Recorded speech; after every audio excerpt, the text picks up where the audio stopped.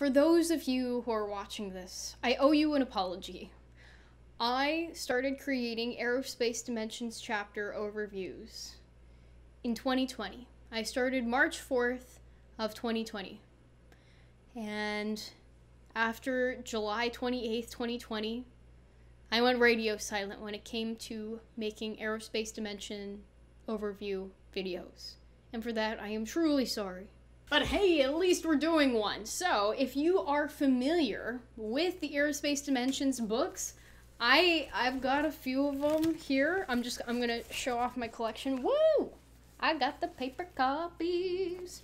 I got the paper copies. I also got them about 10 years ago. So I guess these are sort of like collector's things now, and I should cherish them and be very careful with them. As I was saying, I am very sorry for neglecting to make more aerospace dimension summary videos. There is another video series out there by Aerospace Education or uh, First Lieutenant Roberts from South Carolina Wing, and I will link some of his videos because he has gone over more than I have. And I suddenly stopped doing them because I was like, oh, I should do a uniform video. Oh, I should do an ES video. Oh, I should do stuff for senior members. And I'm sorry for those of you who have been looking for more stuff on Module 3, and then I neglected to make them. So the first thing that chapter 3 weather elements talks about is wind. And if you're not familiar with what wind is, it is a body of air that is in motion. And so the way that we typically measure wind is we measure the direction and we measure the speed. And so if you are familiar with like if, if you've ever done stuff for flying, typically the weather is given to you in knots. And one knot is one nautical mile per hour or 6,076 feet. So technically a knot equals 1.1 miles per hour. They are not equivalent.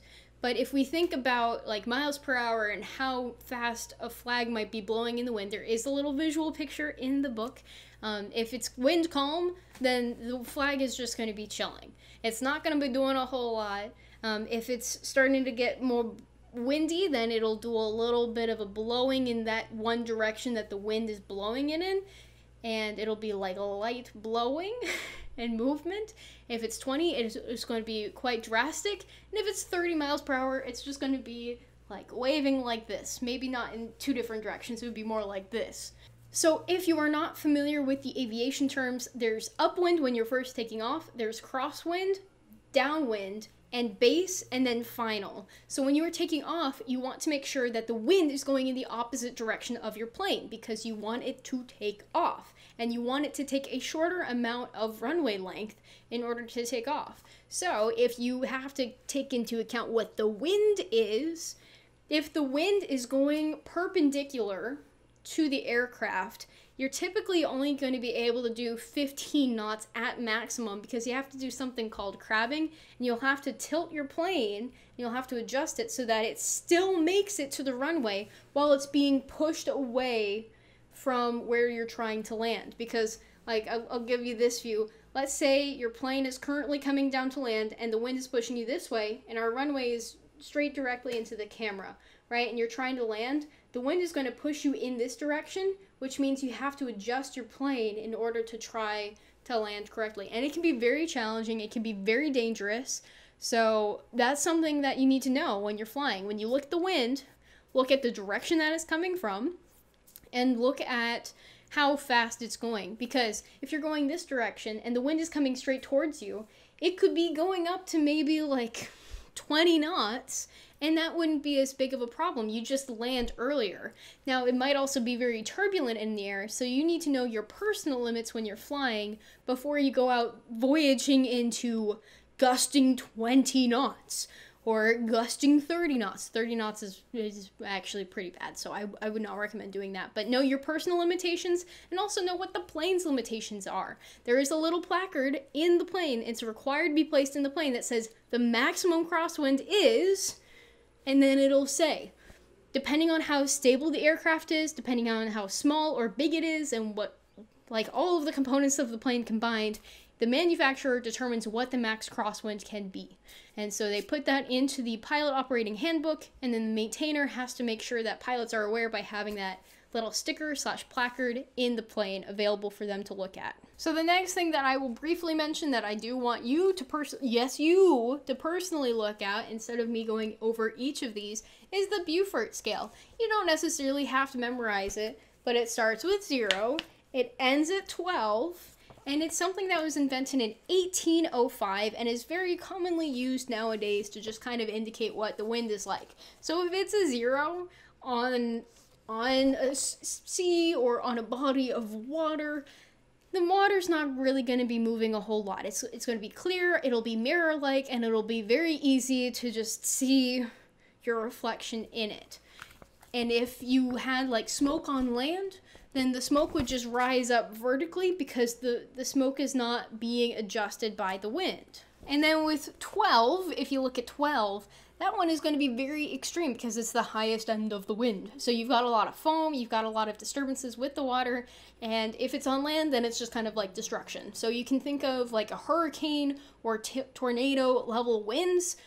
That's getting closer to the, the, the 12 end on our Beaufort scale. But this is something that you should honestly look at yourself just to get a better bearing of the in betweens of how do we get from step zero, which is perfectly calm like conditions where the water is clear and mirror like, to mass destruction. The next thing briefly mentioned is wind chill. So typically when you hear a forecast, you hear the temperature outside is currently 64 degrees Fahrenheit, but it feels like 55. And the reason why is because when there is wind involved with the equation, the wind is taking the heat away from your body. And so if you don't have wind, remember that that whole Beaufort scale thing where it's like 0, you've just got the the smoke going straight up. If you don't have any wind and it's very calm, then your body temperature is not as affected than when the wind is super high because your clothes maintain that heat and you just get all that solar radiation coming in from the sun and it's not being blown off of you. And the reason why in winter weather you wear lots of layers is because you are trying to reflect the heat back towards your body. So when there's wind, something that's really useful for you to use when like the wind chill could be going super duper high where like it's 20 degrees Fahrenheit outside but it feels like negative 9, that's when you need to make sure you've got layers that prevent the wind from getting through your clothes and pulling that heat away from you because the heat it's not going to do anything for the environment and you want to maintain that internal temperature and have all that heat reflected back at you rather than into the environment. And an, an, another quick note uh, they have a very nice diagram here of what the wind chill is. So it, says like the miles per hour of the wind and the temperature and then how cold it actually makes it feel because that, that's a, it's good information to know and understand let's briefly talk about microbursts Microbursts are whenever there is a significant unstable part of the air that is creating this huge downdraft. And this can be especially dangerous when pilots are taking off and landing. Let's say you have a cumulus cloud here and it's got the downdraft. Once it hits the ground, it'll spread out horizontally.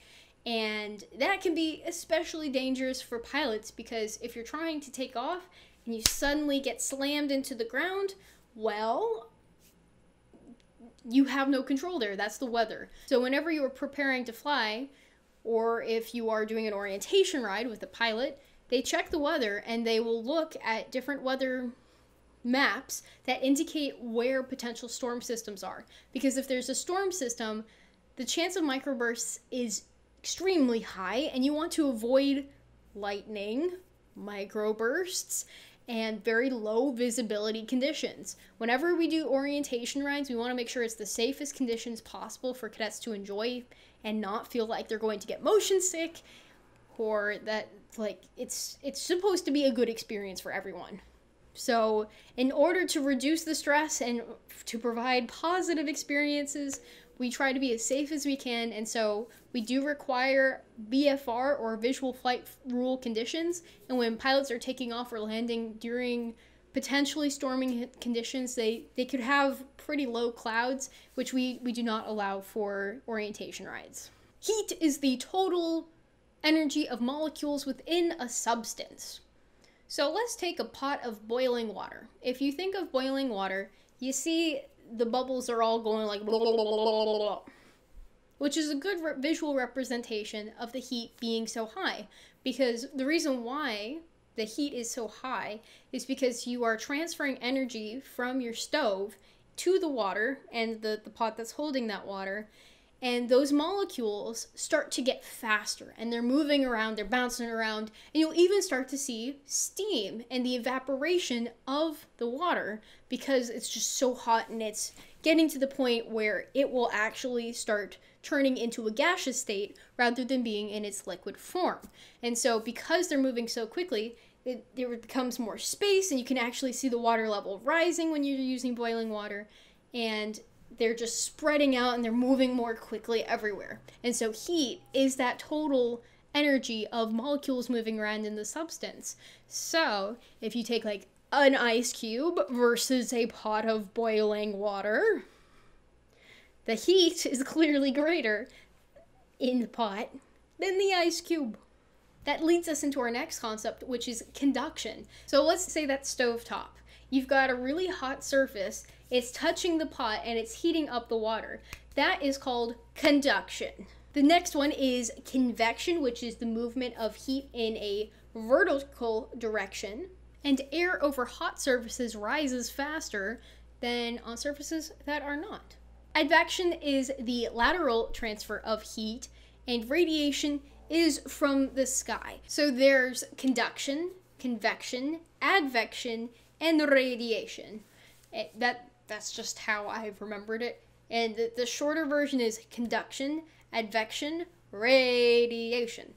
But you, you gotta have convection in there too, so you gotta have it awkwardly be like conduction, convection, advection, radiation. So, just as a quick summary, remember conduction is the surfaces touching each other, so like that stove top, and then we've got convection, so like the heat rising off of a hot summer day's piece of con well asphalt. Let's do asphalt because that's darker colored and it typically gets more heat. But that asphalt is hot because of the radiation from the sun. And then advection which is the lateral transfer of heat it it can be exemplified by like wind blowing on a surface there are three different systems of temperature to be aware of, which are Fahrenheit, Celsius, and Kelvin. For Fahrenheit, the freezing point of water is 32 degrees Fahrenheit, and the boiling point of water is 212 degrees Fahrenheit. For Celsius, the freezing point of water is 0 degrees Celsius, and the boiling point is 100 degrees Celsius. For Kelvin, the freezing point is 273 degrees Kelvin, and the boiling point is 373 degrees Kelvin. But Kelvin is typically used for scientific purposes, so if you're doing something in chemistry or biology, probably more chemistry than biology, but if you're doing some kind of lab, then you'll probably be asked to convert the temperature from either Celsius or Fahrenheit into Kelvin, or vice versa, where you're given an example and you have to convert it into Fahrenheit or Celsius. So there are a few different ways that you can just easily calculate between Fahrenheit and Celsius, but the one that I typically use is Fahrenheit equals parenthesis Celsius times 1.8 and parenthesis plus 32. And that whether you have the Fahrenheit or Celsius, you can determine which is on which side. You like you, you could determine where Celsius just on the one side by itself and have Fahrenheit. But if you have Fahrenheit and you need to transfer into Celsius, then that's the way you can do it too. Typically, when you are flying, they use Celsius for just standardization across all of aviation. Remember earlier when I was talking about the molecules moving very, very quickly and how they were spreading apart when they were becoming gaseous in that boiling pot of water and that steam? So that kind of leads me into the next point of pressure. Pressure on Earth, we I've already talked about the composition of our atmosphere, but let's talk a little bit about pressure. So the molecules that are closer to like the center of the earth and closer to the ground are more closely compact together. And as you get further and further away from the surface, they start to spread out. If you think of when you've flown in a plane, sometimes you can feel pressure in your ears or in your sinuses in your face, and that's because of the change in altitude. That's the change in pressure that you're experiencing. And something that when you're checking the weather when you're flying, you check the pressure altitude because that can actually adjust what your altimeter is saying, and you'll adjust it so that the pressure that the area has matches what your plane's instrument says. In order to measure air pressure, you use something called a barometer. And you could use an aneroid barometer or you could use a mercury barometer. The mercury one, it does take longer in order to get a read, but it is more accurate and stable versus the aneroid, which is faster, but it isn't necessarily as accurate or stable. So, ho ho boy, at the end of this chapter, you could go ahead and take a look. We do have quite a bit of information here on different activities that you can do, like converting between Celsius and Fahrenheit. And if you're not doing that in school and if you haven't done it before, it's a really great practice because if you are going to be a pilot and you get the temperature, let's say you get the temperature is um, 60 degrees Fahrenheit, can you quickly do that mental math and converting it from Fahrenheit to Celsius to know if it's a good temperature outside to go for a walk?